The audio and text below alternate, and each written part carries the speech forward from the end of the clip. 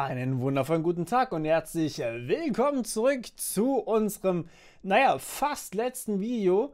Oder ist es vielleicht schon das letzte? Mal gucken. Vielleicht habt ihr ja auch noch Vorschläge für mich, was ich hier ergänzen kann. Ich wäre euch da wirklich sehr, sehr dankbar. Generell bin ich immer um neue Vorschläge dankbar. Aber ja, ähm, das nur mal am Rande. Heute geht es um Monitoring. Monitoring ist eine, eine wirklich ich kann es gar nicht genug betonen, sehr, sehr, sehr wichtig. Ähnlich wichtig wie die Tests, okay? Denn ohne Monitoring findet man einfach nicht raus, ob irgendwas läuft oder nicht läuft. Und das ist ein Riesenproblem. Und ja, was man hier alles durchgucken muss, und da fängt man am besten unten an. Unten sind quasi die fundamentalen Dinge. Nach oben hin wird es dann immer feingranularer und ähm, ja, nicht optionaler, aber besser. Okay, also das heißt, wenn man oben angekommen ist, dann hat man wirklich die Spitze des Eisbergs erreicht und dann hat man sozusagen die wichtigsten Sachen fertig. Aber zuerst einmal braucht man das untere. Also zunächst mal Service Performance und Uptime. Ähm, Service Performance Uptime ist quasi fundamental, weil wir einfach nur wissen wollen, ob unser System läuft.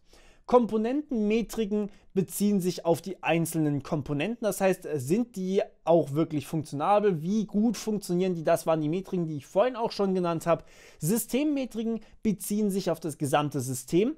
Das heißt, Komponentenmetriken, da kann man die einzelnen Microservices, die Frontends und Backends und was auch immer man hat, kann man untersuchen. Während bei den Systemmetriken, da zieht man dann wirklich komplett das ganze System in eins und überprüft, wie das ganze Ding auch wirklich läuft. Und in der App, da guckt man dann auch wirklich nach Nutzerverhalten. Das heißt, Systemmetriken beziehen sich eigentlich eher auf das gesamte System. Wie gut läuft das? Wie viele Nutzer haben wir? Und bei App-Metriken, da versucht man dann wirklich Nutzerverhalten zu analysieren und zu optimieren, also sein System zu optimieren auf dem Nutzerverhalten. So, Security Monitoring ist auch so ein Ding, das ist natürlich enorm wichtig, gerade weil Security Monitoring sehr, sehr viel von der IT-Security abnimmt. Das heißt, man kann hier wirklich hergehen und sagen, okay, wir überprüfen, gibt es Updates von irgendwelchen kritischen Software-Modulen, ähm, gibt es vielleicht noch ähm, Schwachstellen, die in unserem System drin sind? Kann ich vielleicht automatisch pentesten? Ähm, kann ich vielleicht aber auch überprüfen, ob jemand versucht hat zu pentesten? Habe ich vielleicht ein Intrusion Detection System und so weiter und so fort? Ähm, und ja, dann haben wir natürlich noch die Logs. Da kann man dann aus der App tatsächlich selbst entscheiden, was man da reinschreiben möchte. Und ja, natürlich, da kann, da, das sind quasi eurer Freiheit äh, keine Grenzen gesetzt. Da könnt ihr reinschreiben, was auch immer ihr braucht und was auch immer ihr da für nötig haltet. So, ähm, zunächst einmal zu den Logs. Ähm, Logs sollten enthalten die fünf Ws, wobei das nur auf Englisch funktioniert. Was, wann, wo, wer und nochmal wo. Ähm, wobei das letzte wo heißt eher, wo kommt es her.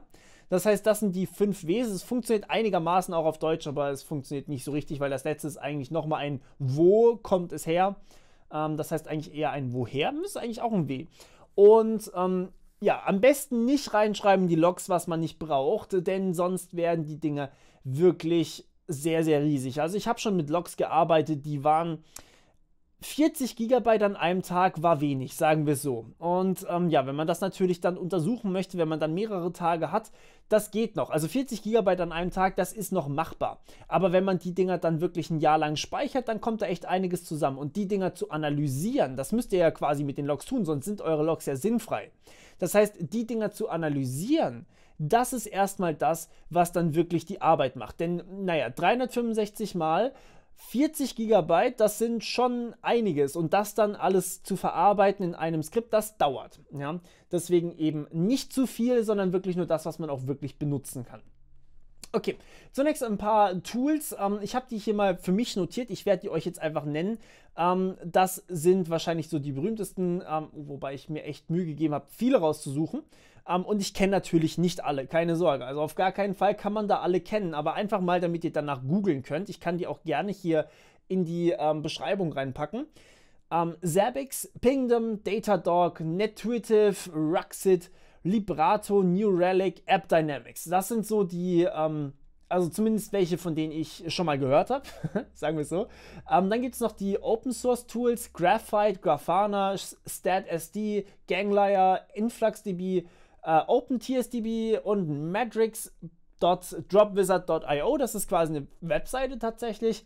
Und dann gibt es noch ein paar, ähm, die habe ich mir mal auch rausgeschrieben. Ich weiß allerdings nicht, wie man sie genau ausspricht. Das heißt, bitte flamet mich da nicht. Isinga, Sensu, SysDick, Prometheus, PaperDuty, Lockstash, Victorops und Flapjack. Ähm, okay, viele wusste ich doch, wie man sie ausspricht. Aber ja, das sind so die wichtigsten Tools, die ich hier ähm, zumindest kenne oder von denen ich schon mal gehört habe oder die jemand mir empfohlen hat. Ähm, quasi so eine Sammlung, was man alles mal ausprobieren kann. Wirklich benutzt habe ich davon erst vier oder fünf. Ähm, das heißt, ja, lang nicht so viel, wie man eigentlich erwarten würde oder, naja, wie man gerne benutzen würde. Aber wenn man das gefunden hat, was man braucht, dann ist das eigentlich auch ganz angenehm. Okay, ja, ähm, das war's von meiner Seite. Wir hören uns wieder beim nächsten Mal. Bis dann, ciao.